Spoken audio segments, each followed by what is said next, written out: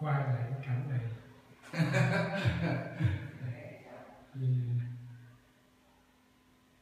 gửi mấy chuyện nhà khác người ta coi người ta người ta coi người ta là bắt chước người ta nhưng mà thằng này bạn là, là trẻ hơn người ta bạn lúc luôn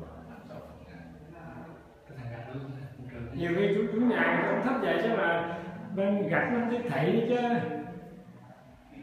chứ, chứ cái này đẹp quá mà. Nhiều người ta còn kêu thợ nó vẽ nó lấy nhiều tiền chứ đâu có ít.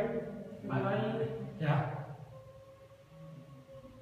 Đây thì ờ, nó có những cái bộ tranh ờ, chú sơn. Rồi xong rồi mình ờ, mình ấn bộ nào thì mình chọn chọn xong rồi đặt cho nó.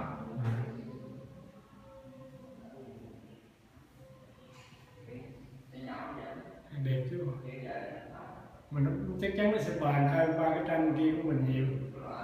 Lau chùi rồi thoải mái.